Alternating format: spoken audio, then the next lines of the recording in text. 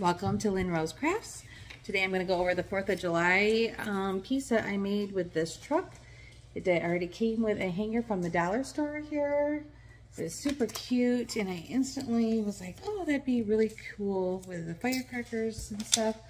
I also found this um, USA sign. It's a hanger that normally goes up and down, but I took the burlap off the back, separated my USA so that I could then um, take it and arrange it. And then once I had it the way that I liked it, flipped it over, took this piece of burlap, and then repurposed it and glued it onto the back of the USA sign.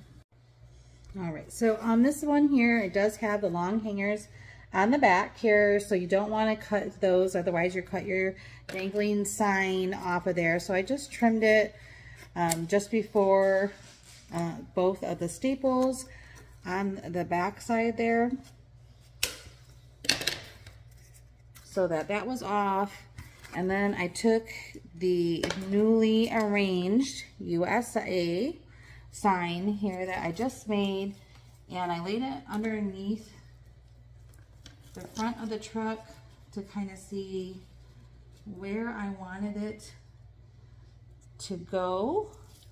Now I had to do this to balance out the fireworks um, and have something in addition to attach, uh, also to attach the hanger to.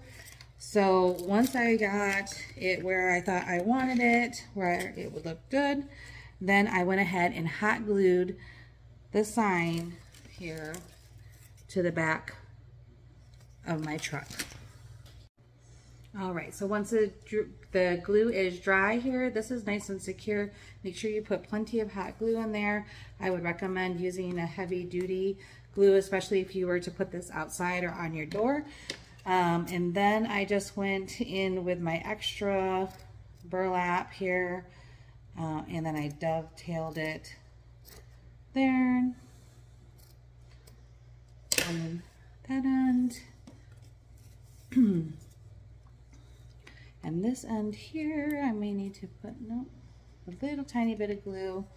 Yeah, on that end. Just trim it. And do the same.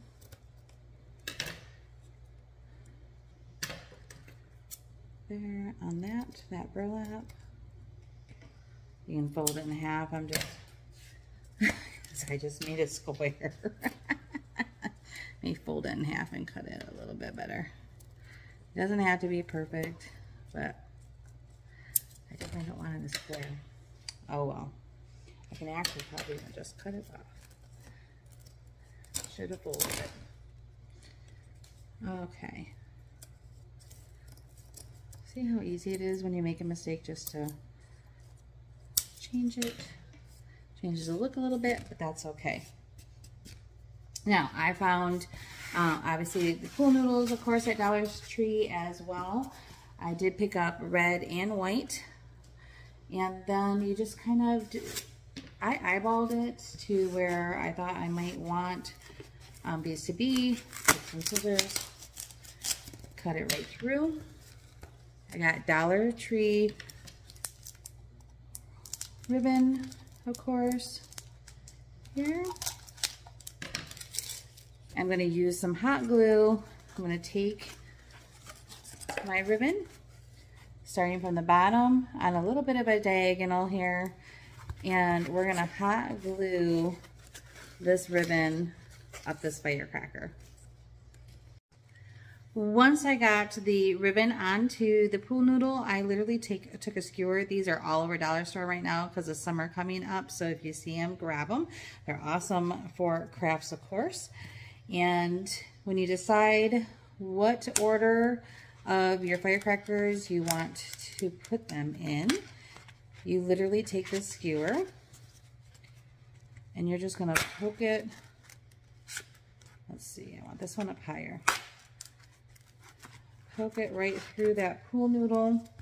And this will help make sure that your fireworks or firecrackers here don't go anywhere on you.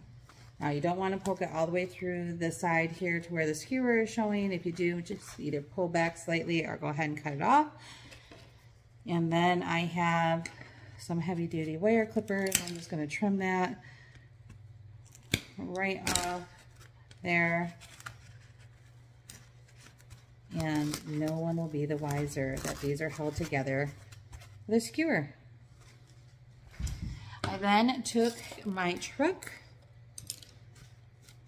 here and looked where I was going to place them on here, making sure that they fit in the design here.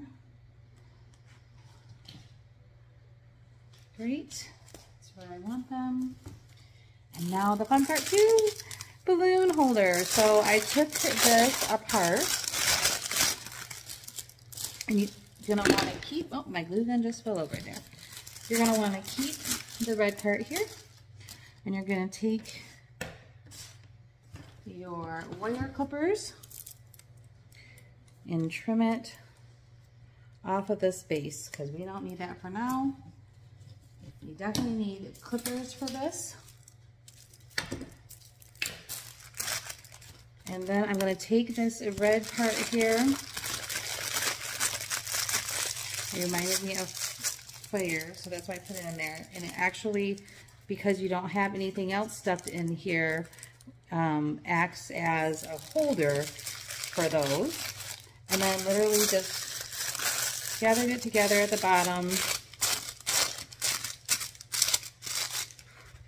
Like so took a, a little bit of glue directly onto the stick itself and placed it down in there. That way you have your firecrackers. Now we're going to, um, at the end here, we're going to take and arrange these little stars so that they look like they're truly shooting out of your firecracker or firework here because we're also going to take those fairy lights and we're, this is what we're also going to be using um, to attach those fairy lights. Okay, we've gotten everything glued down so far. Remember to use generous amounts of glue here. Spread out your stars so that they um, are flaring out for you. And then on the back side here, you're gonna wanna make sure that you add a piece of, of the pool noodle towards the front of the truck so that when it's hanging on the door or wherever you put it, the wall, it has an, the same backing as up here. Because this pushes, of course, the pool noodle is thicker so it pushes it away. So you need something to balance it out so that it rests on your area all level. Okay, we're going to add fairy lights in a hanger I do recommend putting a hanger up here in the middle here so that, and a short one at that, so that it hangs nicely for you. Otherwise, you might end up with a truck like this, and you want it, your truck to be as straight as possible. So make sure your hanger is up towards the middle there for you.